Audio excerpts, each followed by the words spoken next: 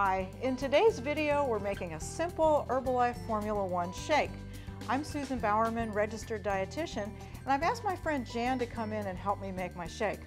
Hi Jan. Hi Susan. How are you? I'm good, how are you? Good, it's great to see you. You too. So my understanding is you've actually never made a shake before. I have not, so you're gonna have to walk me through this. Very simple, just a Okay. few steps, okay? Mm -hmm. All right, so we're gonna take the top off the blender, of course. That's a good place to start.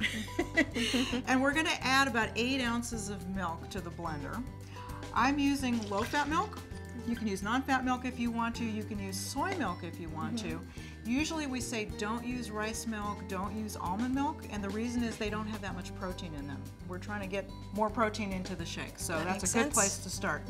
Now you're gonna take your powder, Mm-hmm. and before you scoop, nope, don't open yet. Okay. There's a little trick. Shake your canister a little bit first. And why am I, why am well, I practice shaking? shaking. No, you're going to shake it because it kind of settles when it gets shipped, Mm-hmm. and this way we want to be sure you get just the right amount of powder.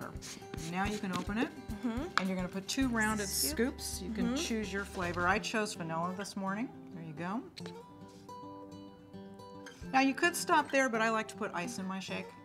It And- just makes it a little thicker Mm-hmm. and it gives it a nice texture. So go ahead and put it in there. It's going to take a couple seconds longer to blend with the ice. We want to get it all crushed up, but it's going to make it a nice thick texture. Okay, go for it.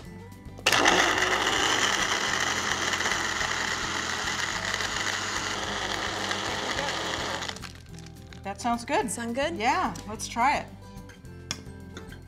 Excited, my first shake. Oh, I think you did a great job.